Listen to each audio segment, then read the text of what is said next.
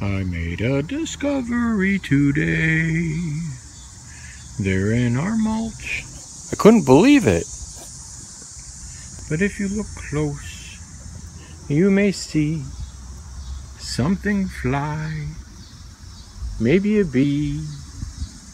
And of course it won't be happening. Cause I'm shooting a video. But it looks like we've got a beehive in the mulch. Looks like we've got a beehive in the mulch. Looks like we've got a bee. Oh, look it, there's one. And he's gonna go inside. It looks like we've got a beehive. And now I don't know what I should do.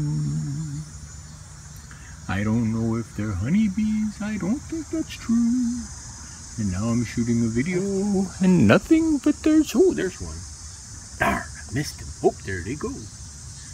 So I've got a beehive to do something with, and now I don't know what to do.